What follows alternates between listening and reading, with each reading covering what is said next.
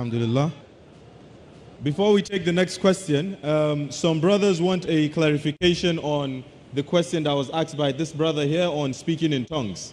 Um, what they, they said is that it's not speaking in different languages like Yoruba, Hausa, Igbo, Arabic. There are some people who preach and they, they imitate something. They are, they are like talking in a different language. It's not very clear.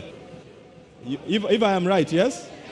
Yes, that they are speaking like they have a spirit in them and they are speaking in a language not understood by anyone. Is that right? That is right? The brother said that the question he asked that there are some Christians who speak in different tongues, who speak in languages that no one understands, and they claim to have spirit. What they're referring to is a statement in the Gospel of Mark that anyone who has faith can speak in tongues.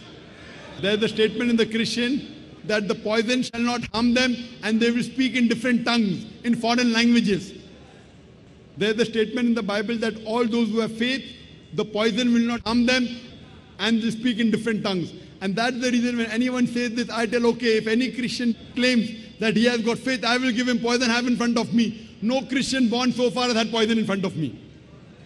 If they claim that they have the Spirit, and if they claim that they are faithful, and they are believers in Jesus Christ, peace be upon him, no poison will hurt them, and they will speak in different tongues. And the same thing when I had a dialogue with Dr. William Campbell.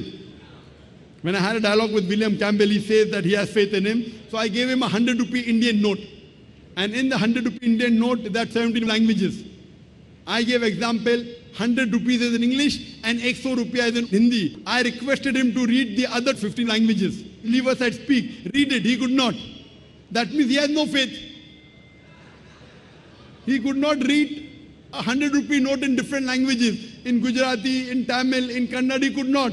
That means he doesn't have faith and he gave the 100 rupees back to me. That means he lost the bet.